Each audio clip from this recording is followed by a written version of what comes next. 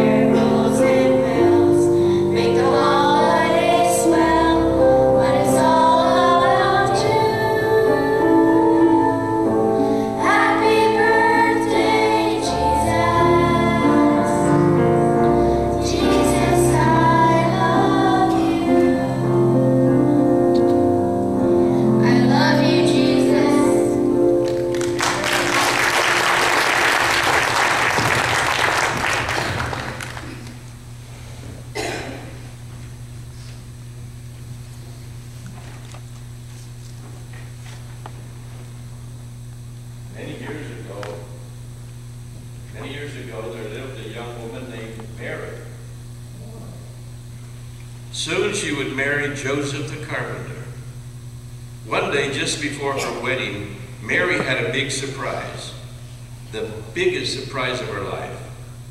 A shining angel appeared right in front of her. And the second, the angel said to her, Don't be afraid. God is very happy with you, and He has a special message for you. Mary was afraid. She was so afraid, but she didn't run away. You're going to have a baby, the angel told her. You must name him Jesus. He will be great and he will be called God's Son. Wow. She was going to be the mother of the most important baby who ever came to earth.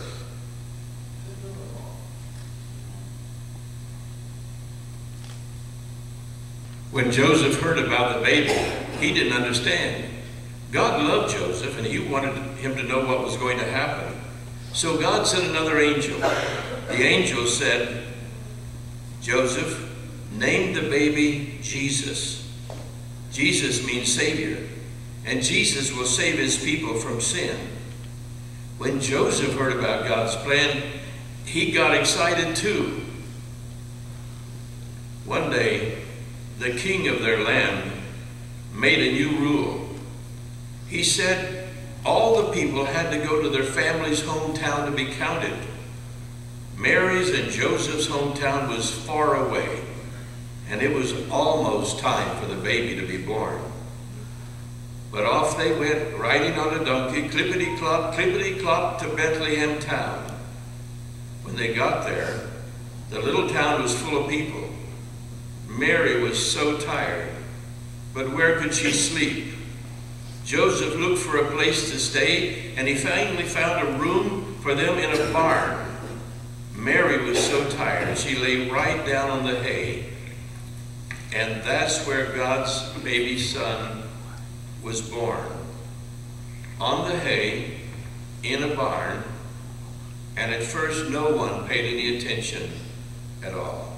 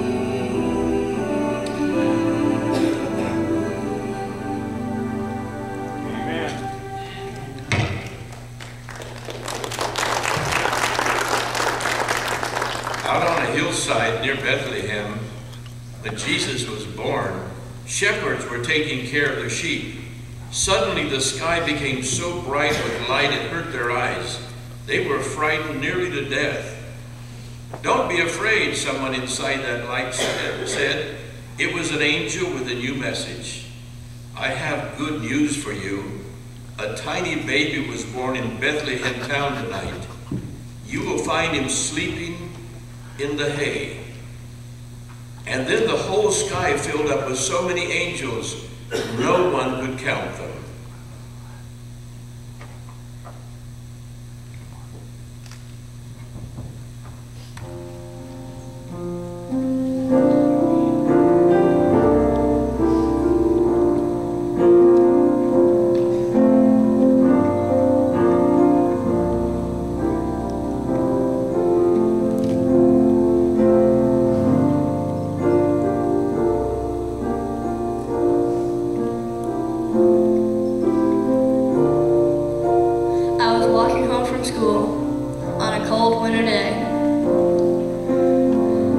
Shortcut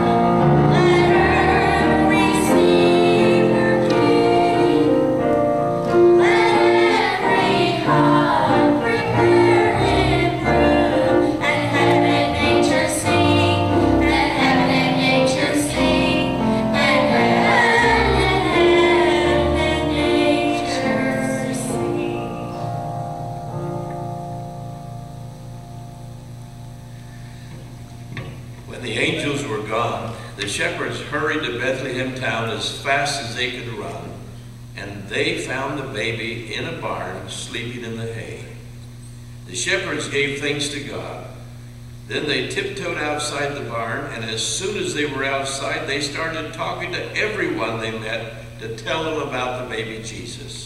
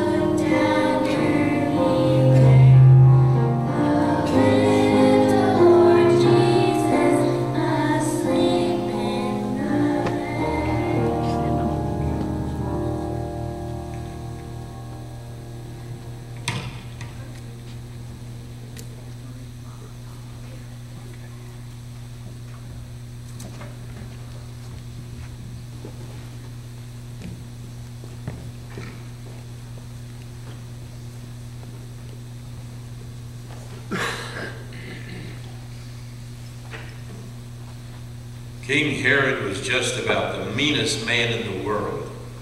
When he heard about baby Jesus, he didn't like it one bit. He didn't want the baby to grow up and become king and take away his throne. King Herod wanted to hurt the baby, but God was not going to let anybody hurt baby Jesus. God sent another angel to warn Joseph, and he said, Take the baby and Mary and go far away to Egypt. The angel said, Stay there until I tell you it's safe to come home. So Joseph got right up out of bed and took Mary and baby Jesus to Egypt. After a long time, God sent one last angel to Joseph in a dream and said, Get up and take the child and his mother and go home. That awful old king was gone and could never hurt them again.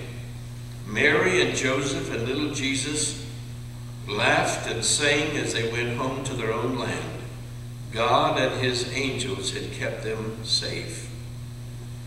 Today we don't see angels very often, but they're all around us. They watch over us and care for us when we sleep, when we play, when we're happy, and even when we're sad. We don't get to see Jesus either, but he is right next to us all the time. He's always taking care of us because he loves us the best of all. As we come into this Christmas season and we're enjoying the wonderful atmosphere, the love and the joy that we all are experiencing, or hopefully all of us are, I'm reminded of a story of something that took place back in 1994. If you remember, the wall came down around East Berlin in 89. And then in 1991, after 70 years of atheism, official atheism in the Soviet Union, the Soviet Union broke apart and doors were opened for many people to go into the country. My wife Rowan and I were there in December of 90, just before the wall, before the, the Soviet Union broke apart. We were there on the inside of it and watched it crumble from within when it was breaking apart. And this story comes just a few years later when the country was open for missionaries and two American missionaries went to Russia and they were invited to come to go to a, a, an orphanage with, where they had a hundred children these children, boys and girls, have been abandoned, abused, and left in the care of a government-run program, and uh, they, they didn't even know the story of Jesus. So when the missionaries, these two missionaries went there, they decided that was the best story to tell them since it was coming up on Christmas time. And they told them the story that we've just heard of Mary and Joseph going to Bethlehem and finding no room in the inn or the motel and, and how they had to go to a barn and baby Jesus was born. And they told them that story that there was no place for Jesus until they found a barn for him to be born in. And then the kids listened, thinking that also applied to them. Well, after they got finished telling the story, they gave the children some small pieces of cardboard that they could use to do a little craft work, and they made a crude manger out of the cardboard. And each child was given a small paper square cut from yellow napkins that, that had, they had brought with them. There was no colored paper available in the city, so they brought their own. The two missionaries did, and after they gave the children instructions, the children tore the paper carefully and made little strips of paper to lay in, the, in their cardboard manger to look like their hay. And they had a little uh, blanket that they'd cut up into pieces for them to put around the baby, and they formed the baby out of some tanned felt that they had brought with them, and they cut them into little doll-like babies. And then the orphans were busy assembling these into their own little manger. All went well, and one of the missionaries was going from the table, from the place to place to see what the different children were doing, how they were arranging their, their manger and, and the baby. And one of them came up to where little Misha, six-year-old Misha, had just completed his manger and had the little strips of paper for the hay and the baby in the manger. But when she got there, she was startled to see there were two babies in the manger. She said this child didn't understand the story. There's only supposed to be one baby in the manger. So she called for the interpreter and she said, Misha, tell me the story and explain the babies that are in the manger. Misha told the story perfectly. He told about Jesus not having a place to live, and he told about how he was born in the barn and laid in the manger. And then he started making up his own ending to the story. And he said, when Mary laid the baby in the manger, Jesus looked at me and he asked me if I had a place to stay. And I told him, I have no mama and I have no papa, so I don't have any place to stay. Then Jesus told me I could stay with him. But I, I said I couldn't because I didn't have a gift to give him like everybody else did. But I wanted to stay with Jesus so much, so I thought about what I had that maybe I could use for a gift. So I asked Jesus, if I get in the manger with you to help keep you warm, will that be a good enough gift? And Jesus told me, if you keep me warm, that will be the best gift anyone ever gave me. So I got in the manger. And that other baby in there is me. And when I got there, Jesus looked at me and he told me I could stay with him for always.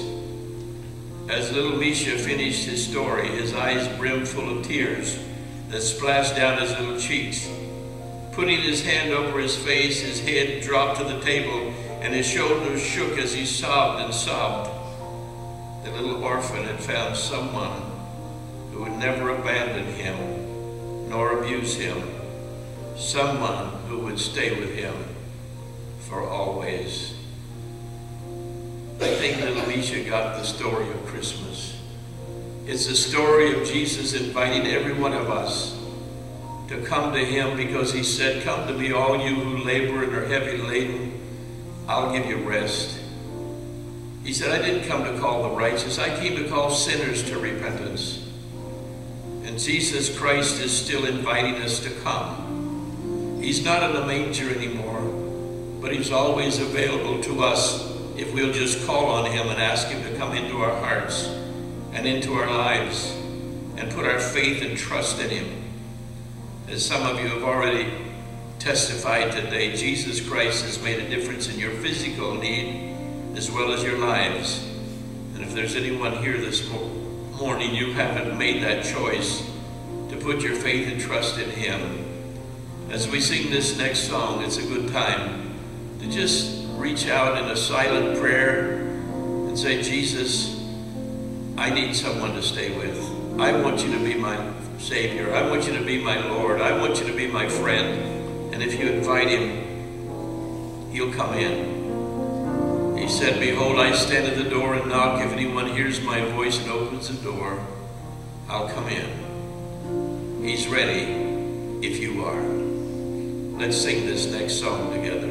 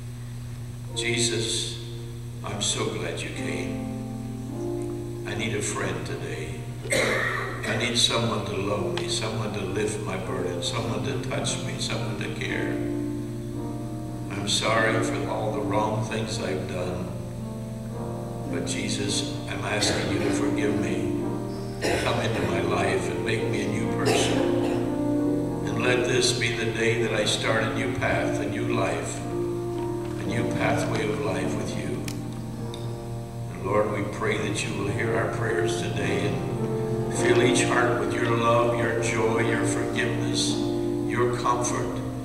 And everybody that's here that needs a physical touch, that your hand will come down right now in healing power and bring physical healing in your touch right now. We thank you for the ones that have participated. Thank you for each one who's here. Thank you that we can enter into this Christmas season with joy and happiness and expectation of greater things to come. And we give you praise and thanksgiving. And we ask it all and praise you in the wonderful name of Jesus.